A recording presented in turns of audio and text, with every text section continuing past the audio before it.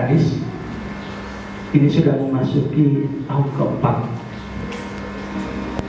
Yang berikut bahwa kegiatan hari ini merupakan rangkaian dari kegiatan uh, pendampingan pembelajaran yang berbasis uh, industri ya oleh sebab itu kami mengundang perwakilan dari dua mitra Iduka yaitu dari PT uh, Pabrik Gula Tuan Gula. Ini kami sudah bekerja sama sejak uh, beberapa tahun yang lalu. Dan kemudian kami mengundang dari dari PT Segar Pangan Sejahtera Gorontalo.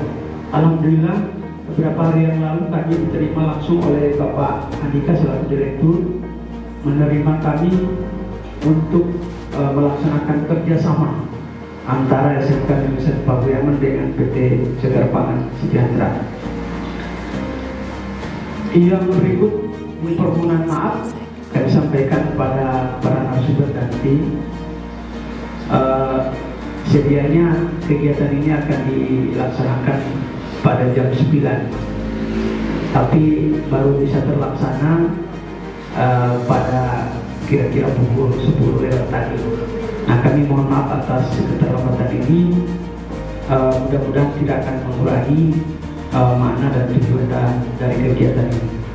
Ibu Bapak yang saya hormati uh, bahwa kegiatan hari ini adalah uh, untuk menyatukan persepsi kita terutama kepada kami warga SMK Negeri 1 Pawiyaman uh, terkait dengan apa yang disebut dengan DKK pusat kerja khusus. Saya pribadi baru mendalami uh, hal ini beberapa tahun terakhir. Sebenarnya uh, BKK ini memang sangat diperlukan sejak awal untuk uh, memediasi para alumni uh, dalam hal mencari pekerjaan. Seperti yang kita tahu bersama Ibu Bapak bahwa uh, sebagaimana rilis BPS pengangguran uh, terbesar itu uh, penyumbangnya dari lulusan SMK itu ya sejak tahun 2021 padahal uh, hampir semua lulusan SMK di provinsi Gorontalo atau di Indonesia itu hampir semuanya bekerja. Tetapi yang kami hormati Bapak yang mewakili BLK Provinsi Provinsi Gorontalo yang kami hormati Direktur PT Pangan Sejahtera ini perekrut tenaga kerja dan pemberi pekerja bagi kita Provinsi Gorontalo. Makanya kalau kalau saya pengusaha itu adalah mitra dan perlu dilindungi. Karena kalau makin banyak perusahaan makin banyak pengusaha yang ada di daerah itu maka peluang untuk tenaga kerja itu banyak. Yang saya hormati dari jadi Pak Suprin ini sudah lama juga bermitra dengan kami sama dengan dari SMK. Kita ketahui bersama namanya dunia pendidikan di sekolah-sekolah tentu orientasinya bagaimana menciptakan siswa yang siap dan punya SDM yang mapan yang handal orientasi kepada kebutuhan pasar yang harus mengembangkan inovasi untuk mempengaruhi perubahan kebutuhan pasar. Salah satu komponen penting dalam mengukur keberhasilan pendidikan di SMP yang bisa membawa dengan baik sekolah ini. Karena dari awal saya sampaikan kehebatan satu orang siswa akan mempengaruhi kualitas dan kuantitas satu sekolah. Tapi kegagalan seorang siswa akan mempengaruhi kuantitas dari sekolah itu sendiri. Jadi Tidak ada yang Bapak lakukan. Pokoknya di sekolah ini dipersiapkan yang SDBS. Jadi sekali lagi mohon maaf jika ada yang tidak berkenan di atas sekalian. Sekali lagi saya mohon maaf dari hati nurani dan lubuk hati yang paling dalam saya mengucapkan terima kasih kepada Bapak Ibu Guru. Walaupun Bapak Ibu Guru tidak pernah mendidik saya tapi sekali lagi saya ucapkan terima kasih. Karena tanpa Bapak Ibu sekalian sekali lagi saya tidak mungkin ada di sini. Kenapa sekali lagi saya sering?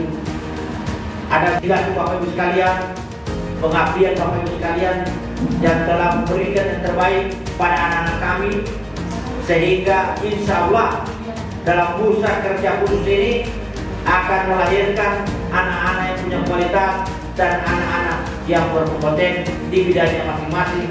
Dan insya Allah bisa diterima di perusahaan mana saja jangankan di provinsi Gorontalo bahkan di bisa di luar negeri. Demikian saya bilang kurang sama maaf. Wallahul muhafiz ila komentari Wallahul musta'an. Assalamualaikum warahmatullahi wabarakatuh. Waalaikumsalam. Baik Bapak dan Ibu yang sudah nakal, saya mewakili pelatnas Nakas. Nah, sekarang itu Naker, ESDN dan Transmigrasi Provinsi Gorontalo. Yang kemarin itu eh, Dinas Penanaman Modal, ESDN dan Transmigrasi. Eh, yang ada eh, yang dikawinkan antara PPSP, Penanaman Modal PPSP dan Disnaker Trans dulu. Sekarang sudah cerai lagi jadi tinggal tinggal lagi ya jadi dinas eh, mineral. Jadi eh, energi dan sumber daya mineral. Nah, kebetulan saya eh, di bertugas di UPT Balai Latihan Kerja Provinsi Gorontalo sebagai instruktur pemerintah kejuruan produktivitas sinkron yang berupa walaupun perikanan tapi perhitungan-perhitungan BCL tadi cuma BCL saya kan cuma bunga citra saja dan eh, masih sangat-sangat sedikit ketika karena dengan luasan luasan itu penduduk kita masih sangat-sangat sedikit 1,1 juta tetapi dari 1,1 juta itu angkatan kerja itu kita cuma sekian persen ya sekitar 40 persen sekitar 500an 500an uh, angkatan kerja. Dari angkatan kerja itu pun pasti ada yang sudah sudah bekerja, kemudian ada juga yang pengangguran. Nah, memang kalau untuk mengatasi pengangguran secara uh, keseluruhan, nah ini kan hal yang tidak mungkin. Tentu ada siang dan malam, ada laki-laki dan perempuan. Ini sesuatu hal yang bagikan mata uang yang saling tidak bisa terpisahkan. Nah, tetapi kita uh, coba untuk mengisi jadi memang uh, pertumbuhan ekonomi kita di Gorontalo itu kalau misalnya kita lihat memang di atas daripada nasional ya. Tapi kemiskinan juga tingkat kemiskinan juga uh, cukup tinggi. Edi apa? Eh,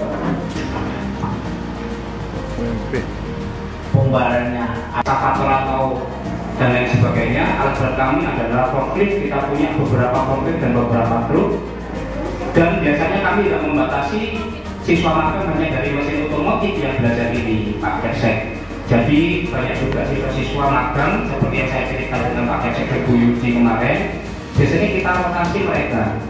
Jadi ada beberapa yang mungkin kalau dari Jember itu ada jurusan mekatronika yang mereka juga belajar otomotif. Jadi tidak ada syaratnya sehingga kemampuan mereka mengerti lebih banyak. Jadi mesin otomotif adalah maintenance mesin dan juga maintenance dari truk-truk yang kita punya next pak.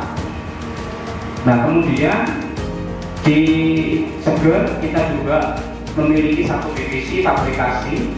Salah satunya adalah pembuatan daging-daging seperti gambar ini. Kemudian kita juga memiliki mesin bubut bapak ibu masih terkait lowongan kerja ini. Kemudian sekali lagi mungkin saya juga tadi dapat pesan-pesan dan dari Pak Kadis tidak berjauhan dengan uh, pabrik gula Gorontalo dan satu pabrik uh, tepung yang ada di Kendari. Sejak ada PT Pabrik Gula status eh, perusahaannya adalah swasta, status eh, perusahaan swasta. Jadi eh, yang punya adalah eh, orang Surabaya.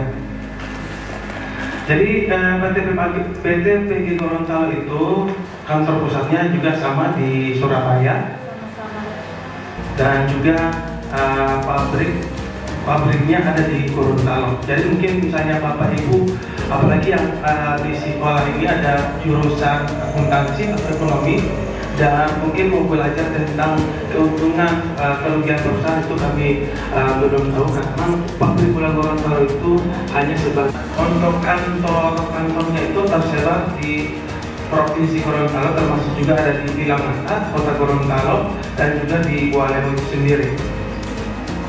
Jadi ada